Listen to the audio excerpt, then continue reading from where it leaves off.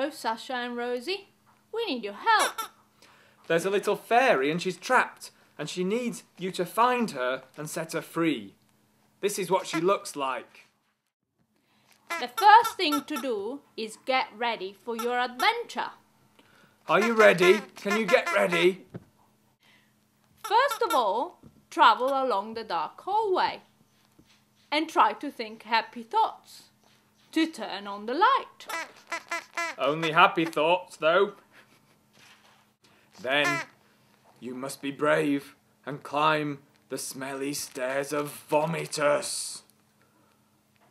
Even if you are sick, please remember to keep climbing.